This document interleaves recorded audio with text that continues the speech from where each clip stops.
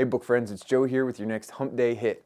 Ring Shout by P. Djeli Clark. It's 1922 in Macon, Georgia, where three badass black women are hunting Ku Kluxes, mortal Klansmen who have been transformed into demonic monsters by the evils of white supremacy and their own hatred. It's up to Maryse, who wields a blade made of iron and smoke that sings with the power of her ancestral spirits, along with her two best friends and fellow resistance fighters, a wise-cracking, lanky sharpshooter and a Harlem hellfighter named Chef, who cooks up bombs, to put an end to the Klan's reign of terror.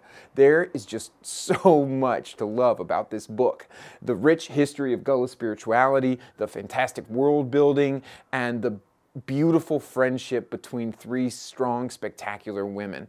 Ring Shout blends sci-fi with fantasy and horror and historical fiction, creating a novella steeped in lore that is equal parts terrifying, hilarious, and powerful. P. Djeli Clark is an accomplished author with a collection of fantastic books that are already published and a new novel out this March named Master of Djinn.